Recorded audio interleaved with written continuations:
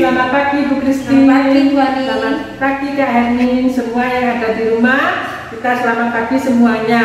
Kita awali sebelum kita awali kebaktian sekolah minggu ini, kita masuk dalam doa dulu.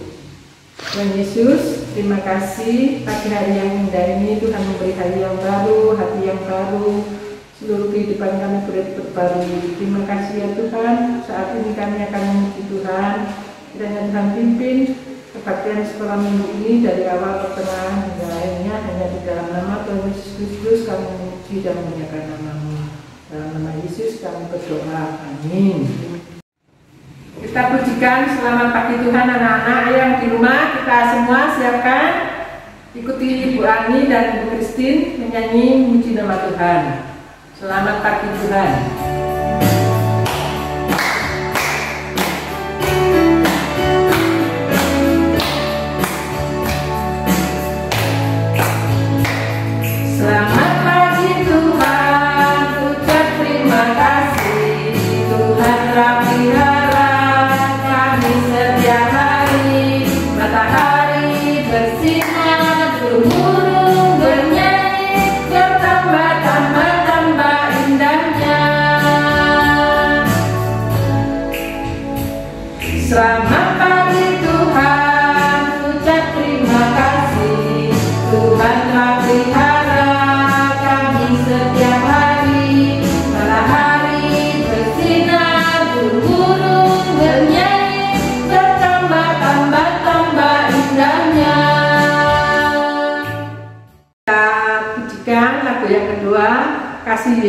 Yesus indah oh Anak-anak boleh sambil gerakan.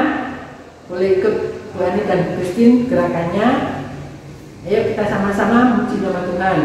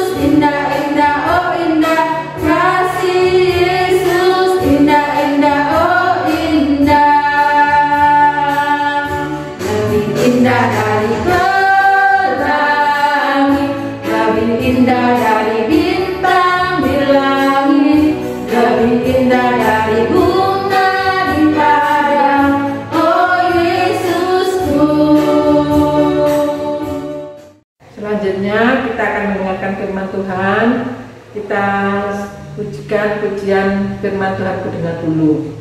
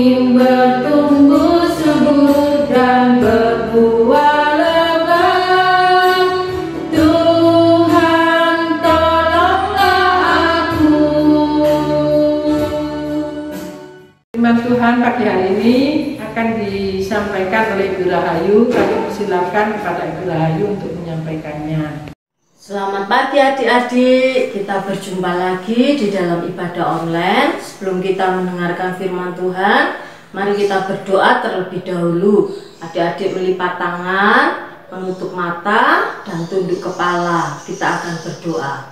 Tuhan, berkati kami dalam perenungan firman Tuhan. Biarlah Tuhan memimpin kami dan menyertai kami hingga kami beroleh berkat dari firman-Mu. Terima kasih Bapa, di dalam nama Tuhan Yesus kami berdoa. Amin.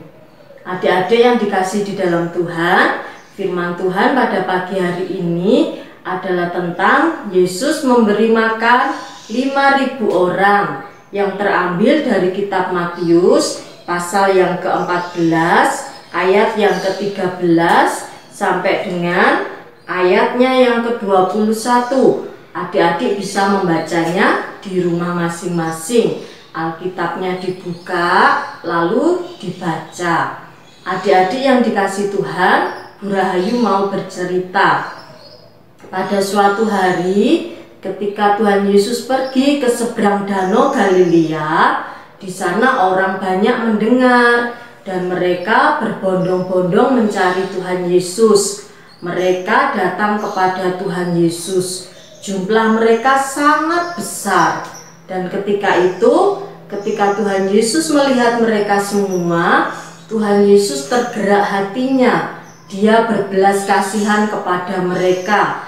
Lalu Tuhan Yesus menyembuhkan segala sakit penyakit mereka dan memberikan pengajaran kepada mereka semua. Tuhan Yesus memberitakan firman Tuhan kepada mereka semua. Adik-adik, mereka mengikut Tuhan Yesus hingga malam tiba. Pada suatu malam itu, Tuhan Yesus melihat bahwa mereka semua belum makan. Mereka mengiring Tuhan Yesus dan mereka belum makan. Lalu hati Tuhan Yesus pun merasa kasihan kepada mereka. Murid-murid berkata, "Tuhan, suruhlah mereka pergi ke desa-desa supaya mereka bisa mendapatkan penginapan dan mereka bisa mendapat makanan. Tapi Tuhan Yesus berkata kepada murid-muridnya, "Kamu harus memberi mereka makan." Lalu muridnya yang bernama Filipus berkata, "Tuhan, uang dalam jumlah yang sangat banyak pun tidak cukup untuk memberi mereka roti, walaupun roti yang kecil-kecil. Lalu di situ ada seorang anak yang membawa bekal, yaitu lima roti dan dua ikan. Muridnya yang bernama Andreas membawanya kepada Tuhan Yesus. Lalu Tuhan Yesus menyuruh supaya orang-orang itu duduk berkelompok-berkelompok ada yang 50 orang, ada yang 100 orang. Lalu setelah itu Tuhan Yesus membawa lima roti dan dua ikan itu dia menengadah ke langit, mengucap syukur dan memberikannya kepada murid-muridnya untuk dibagi-bagikan kepada orang banyak itu. Adik-adik yang dikasih di dalam Tuhan, ternyata dari lima roti dan dua ikan cukup memberi makan 5000 orang laki-laki belum termasuk perempuan dan anak-anak. Ini adalah mujizat yang dilakukan oleh Tuhan Yesus. Tuhan Yesus sangat berbelas kasihan melihat mereka yang lapar. Dan akhirnya setelah dibagi-bagikan roti dan ikan tersebut mereka makan sampai kenyang dan ada sisa 12 bakul. Adik-adik yang dikasih Tuhan, dari firman Tuhan pada pagi hari ini kita bisa belajar bahwa Tuhan memelihara setiap umat manusia.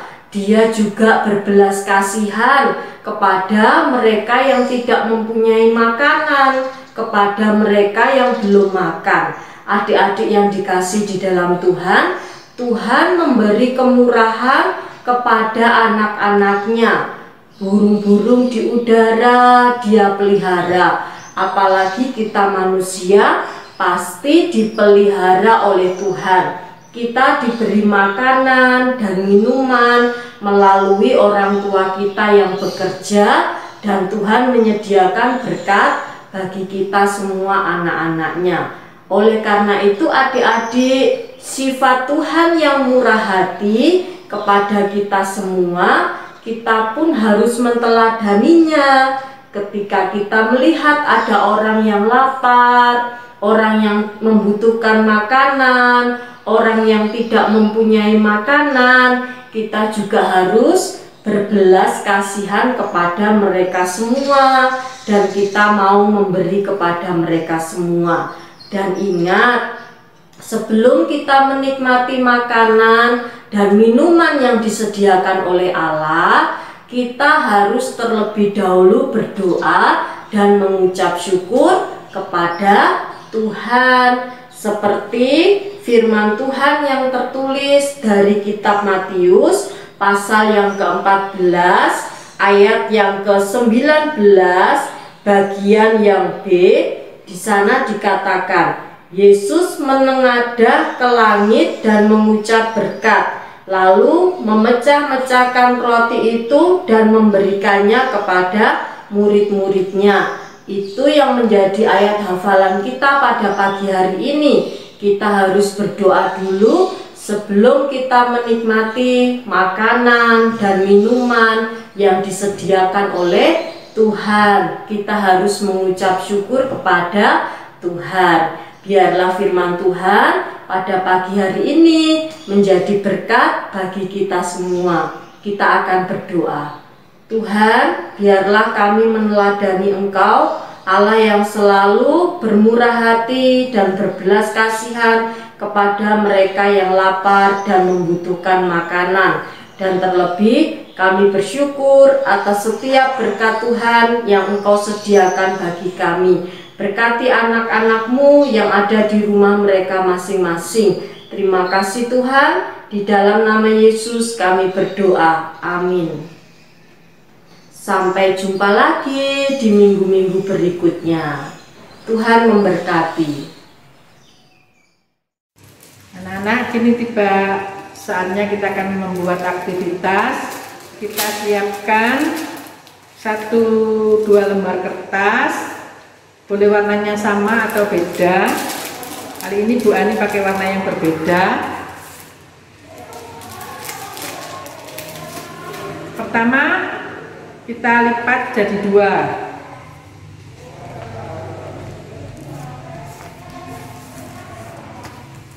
setelah sama kita lipat lagi ke samping. Begini. Terus ke samping begini. Nah ini bentuknya. Setelah itu kita lipat atasnya masing-masing. Begini. Oke sudah siap semua? Sudah bentuknya begini terus kita masukkan jari kita ke dalamnya pelan-pelan nah ini kita ketuk-ketuk kita akan membuat ikan nah sudah sekarang kita buat ekornya. Ekornya boleh bermacam-macam. Kita samakan dulu supaya lipatannya sama.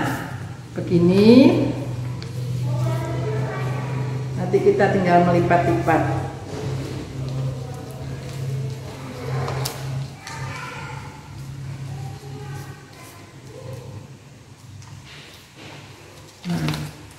kita buka lipatannya kita lipat pertama begini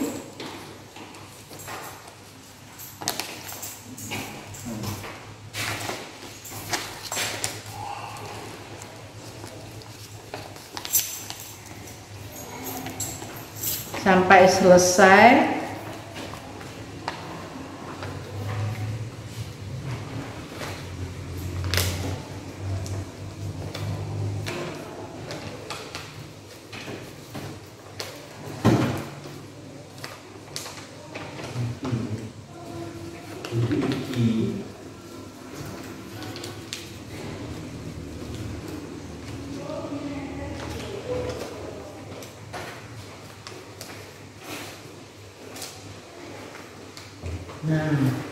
Sudah itu kita lipat jadi dua yang sama. Kita beri lem di tengahnya. Kita lem dalamnya ini supaya Nah, maksudnya begini loh. Nah, supaya itu kita taruh di dalamnya begini. Oke. Terus ikannya kita beri mata. Kalau punya mata yang tempel, boleh yang tempel. Kalau nggak ada, boleh pakai spidol atau pakai bol bolpen. Terus ayat hafalannya ada di Matius 14 ayat 19. Kita buka Alkitab kita bersama-sama. Kita baca bersama-sama. Anak-anak boleh baca di rumah. Kalau sudah selesai bahan aktivitasnya kita kumpulkan ke guru kelas masing-masing sebagai absensi hari ini. Terima kasih Tuhan Yesus memberkati